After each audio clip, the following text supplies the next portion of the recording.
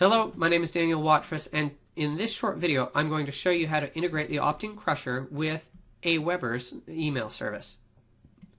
To start with, you come over to your Opt-in Crusher blog, where you, where you have Opt-in Crusher installed. And once you've logged in, from the dashboard, under the Settings menu, you want to click on Opt-in Crusher. From the Opt-in Crusher settings page, you want to scroll down to the area or the, uh, the section entitled Opt-in Form Details. And there is a field right here where you paste the form from Aweber.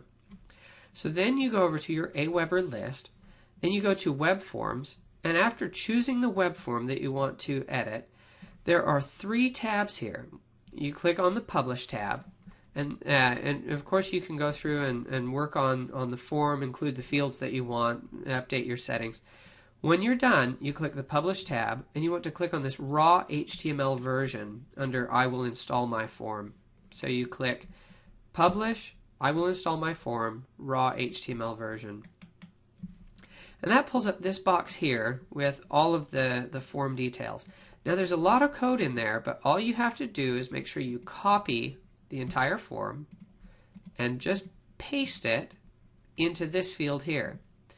Then you click this big green process form button and Opt-in Crusher takes care of the rest. Click update all settings and there you have an opt-in form now integrated with Aweber as part of your opt-in crusher. Anybody who signs up, punches in their name and email address, will be added to your list. Now there's one more bit that you want to do with a Aweber. One of the bits they generate here starts with the less than sign saying div style display none and then has this little img. Well you want to copy all of that all the way to the end of the line. So you just copy that one line there, come back here, and then in this processed opt-in form field, Scroll down to the bottom and paste that right in. Then click Update All Settings. Now what that does is it doesn't change the way anything looks or functions, but it will keep the statistics for that web form accurate on your Aweber list when it shows you how many times people have viewed the opt-in form versus how many times they've signed up. So that's it. Hopefully this was helpful. Thank you.